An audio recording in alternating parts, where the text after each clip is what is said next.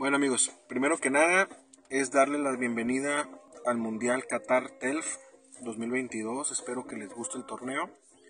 El torneo es importante que sepan que consta de tres fases. Es ahorita estamos jugando la fase previa que se juega esta semana, la última temporada.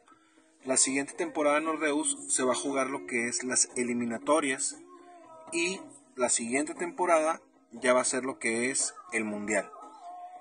En esta, en esta, fase, de, en esta fase previa son 14 equipos que van a buscar 7 boletos.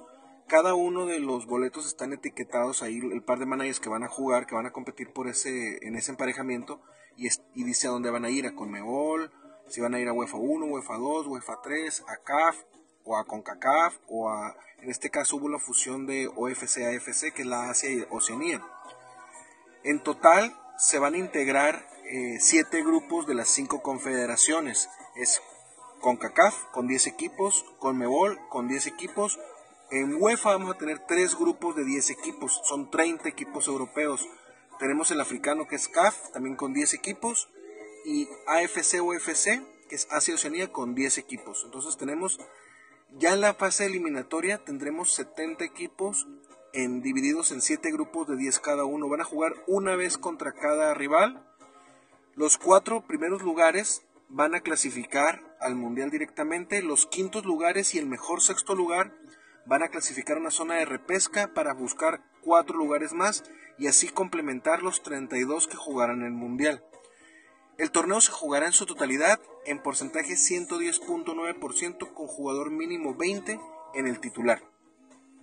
Ya en cambio van a poder ingresar hasta 5 cambios siempre y cuando el que entre sea igual o menor porcentaje del que sale. Esto puede ser hasta 1% siempre y cuando sea menor o igual al que sale. Por ese lado no hay ningún problema. Para la fase previa, como estén los multiplicadores, no hay ningún problema. Por 1, por 2 o por 3. Solo por 0 no pueden jugar. Si detectan eso, es expulsión inmediatamente. A partir de las eliminatorias y lo que es el mundial, todos están obligados a mantener un multiplicador por 2 o por 3.